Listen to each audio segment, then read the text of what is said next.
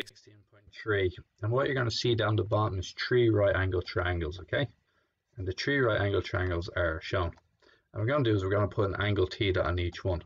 And what you can see about these three angles is that in generally speaking uh, I'm going to look at the lengths of the opposite and the adjacents okay?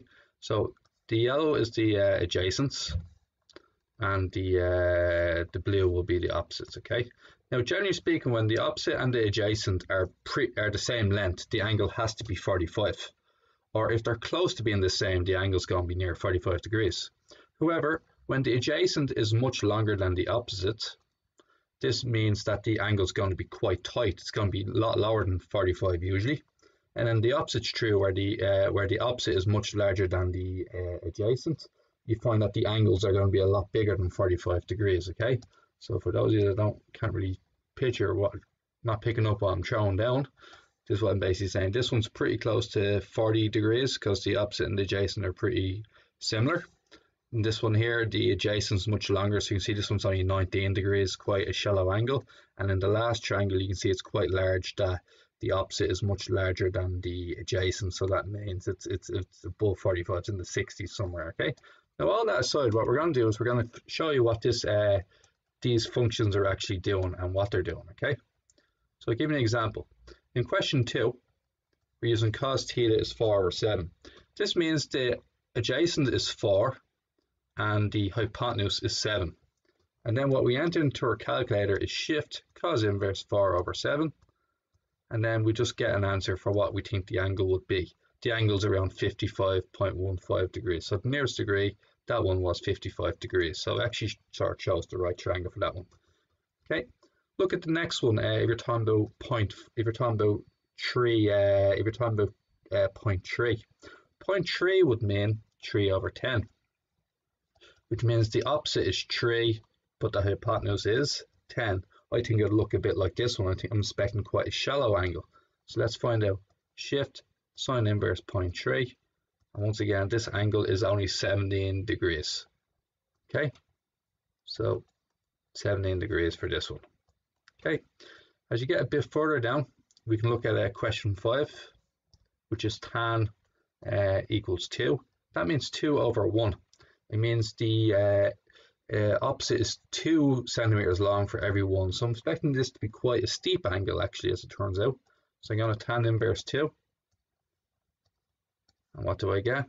63 degrees, which is uh, quite a quite a sizable angle. Okay, guys, that's all there basically is to it. In question eight, I suppose we just tan inverse uh, 1 over root 10.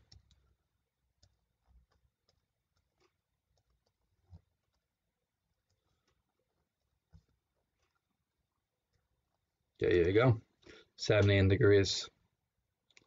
So that was actually quite a small angle. So uh, it rounds up to 18 degrees, okay? All right, guys, so that's the first question. So that's two, four, five, and eight.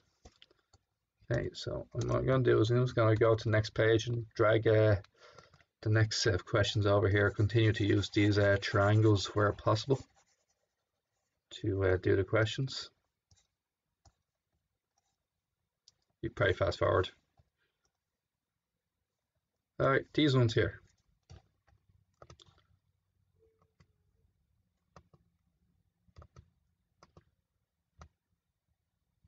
Alrighty. So what we have is a couple more questions here. Corrected two decimal places, okay? So what I'm just to do is I'm just to mess around with one or two of these. So see sine q, question 11. All you have to do is just sine inverse it.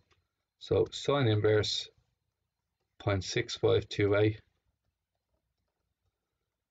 and there you go 40.75 degrees. It's, it's very easy right? Now if you look at this language here uh, cos QPR is 2 over 5 this will mean adjacent of 2 and opposite of 5 and if you're using the letters this would mean that it's Q to P to R. So P has to be second let the middle letter is the most important. So P would be here and I don't know what way Q and R are, but look, you can put it this way or the opposite way around, but that's what it roughly looked like. Once again, we're going to cos inverse this. Okay, so that's cos inverse, shift cos inverse uh, 2 over 5. I reckon it's going to be above 45 degrees. there is 66.42 degrees. So the steep angle I chose was right. All right, next one is question uh, 16. They're trying to be quite smart here. What they're trying to say is 5 sine B equals 1. But what you can say is you can cross multiply that 5 down into division on the other side. So what I mean by that is this.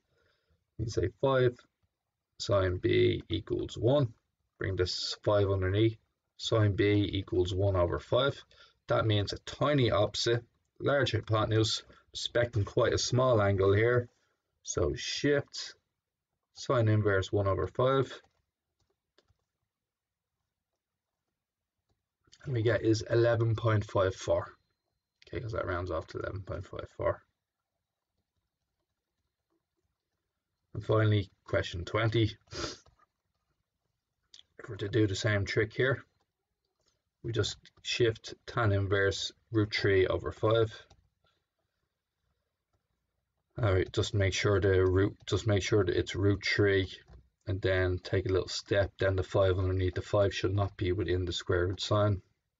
And you get 19.11 for B, for C I mean. Okay. So now we've done all of those ones. Alright guys, I think that's uh, pretty much us for this one.